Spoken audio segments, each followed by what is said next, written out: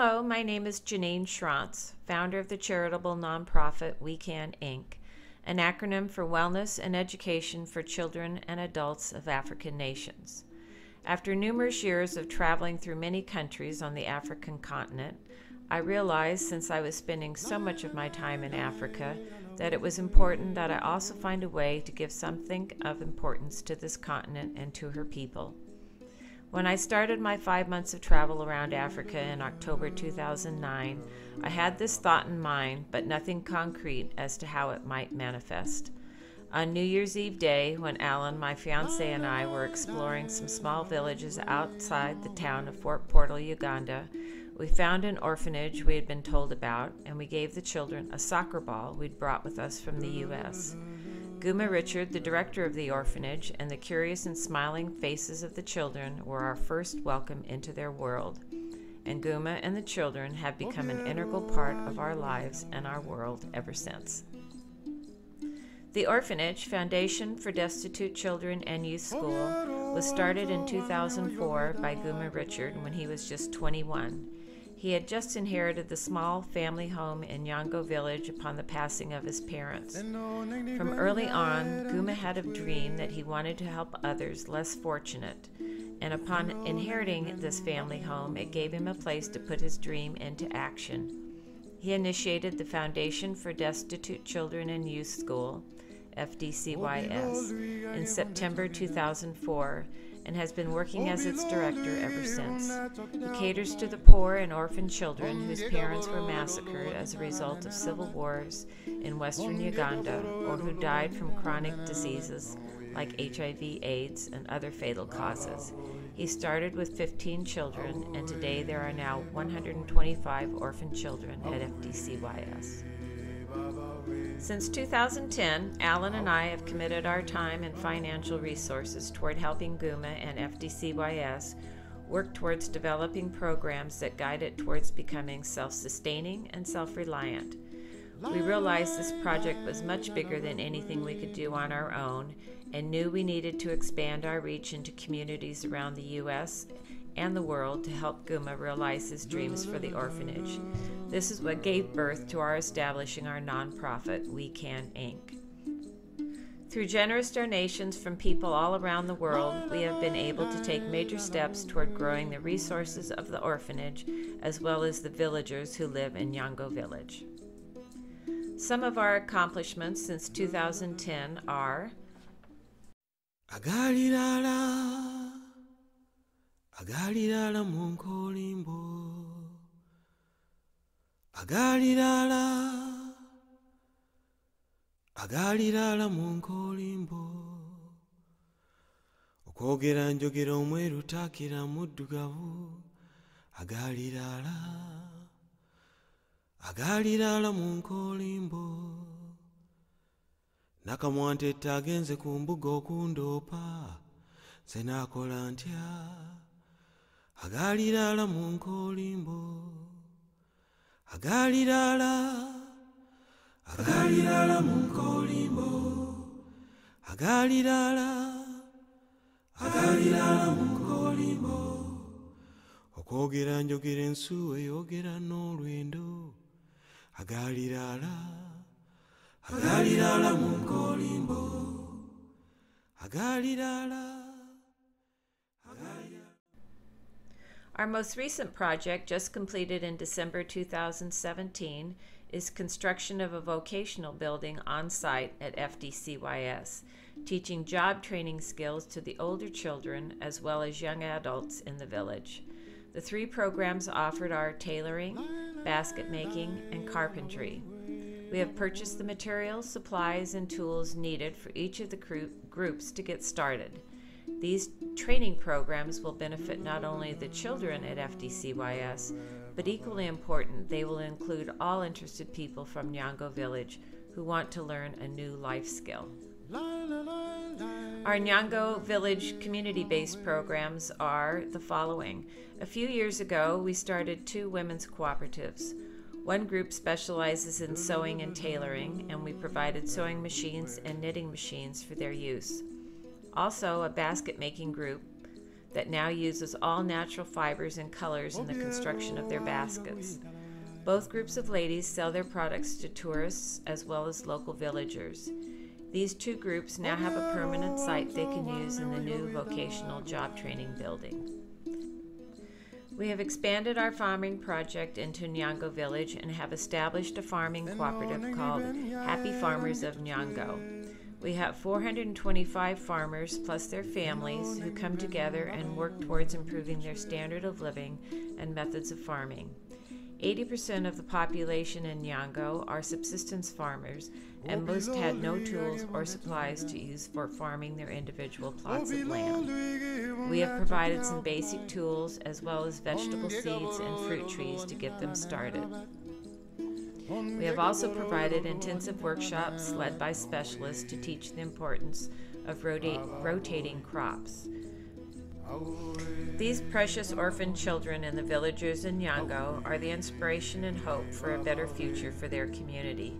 Through education, good nutrition, job training, and dreaming big dreams, they see hope for a new life.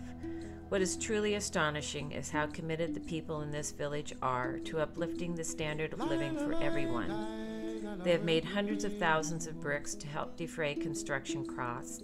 They have dug the foundations so these projects can be completed and the orphan children have a safe place to live. It is truly humbling to watch how they care for each other and share whatever they have to help all their neighbors improve their lives. There are so many more projects that are still in the dream stages, waiting for the opportunity be- to become a reality. We truly appreciate all the generous gifts and donations that WECAAN Inc. has received over the years, and we look forward to ever more abundant donations in the coming years. Another very amazing and fantastic project that WECAAN has underway is in Mukwia Village, Malawi, located on the shores of Lake Malawi. In 2010, on the same trip to Africa where I met Guma Richard, I traveled from Uganda to Malawi. Alan had told me that I must go to Nkhata Bay area as Lake Malawi is truly beautiful. Within a day or two of arriving in Nkhata Bay, I met a young man, Tom Kandawi, and he told me about a program he had started a couple of years prior and asked if I would have an interest in meeting some of the orphans he was working with. The next day we met, and he in- introduced me to the children as they were playing an improvised game of football, soccer as we call it here in the U.S.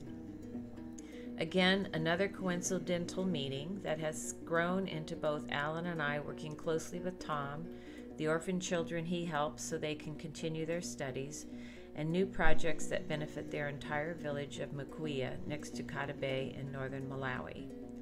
Tom Kandawi was orphaned at an early age, and his aunt Janet took him in and raised him as her son. He knows firsthand the hardships of being an orphan. Malawi is one of the poorest countries in Africa and has a high incidence of orphan children who have been, who have been abandoned and left homeless. The situation is particularly serious for young orphan girls as they are easy prey for being sold into child marriage, some as young as 12 or 13 years old. When Tom was in his early 20s, he decided he wanted to help these orphan children in his community.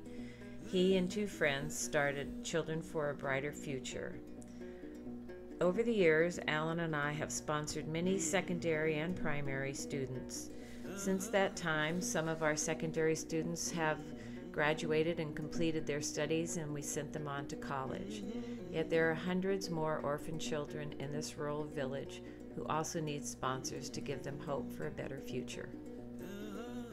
In 2014, using donations received from family and friends, we raised money to start construction on a village project called Mukwia Student Study Center and Women's Cooperative.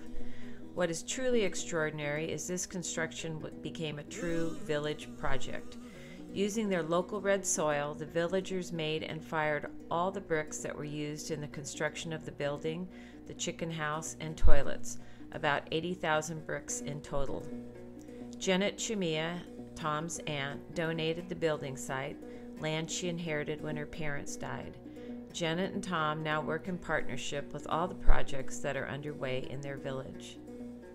Janet and Tom have been instrumental in organizing the Women's Sewing Cooperative and chicken raising projects.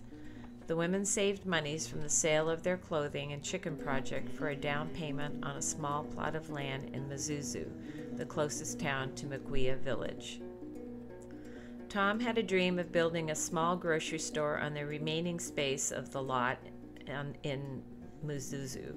With donation and the villagers' help making the bricks, the construction of this dry goods store was completed in mid 2017.